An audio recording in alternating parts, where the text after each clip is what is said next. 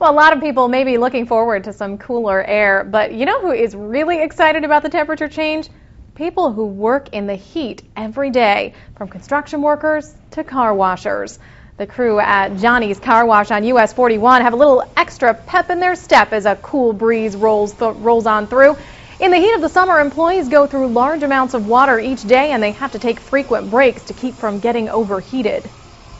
You notice that the people are a little bit nicer because they're not just drenching, soaking wet. I mean, it really is. I mean, it gets rough in the morning when you come out at 7 o'clock and it's already, you know, steamy. The, the break will be nice for us. And as Justin told us, we should feel that cooler weather tomorrow, and it should last for a day or two.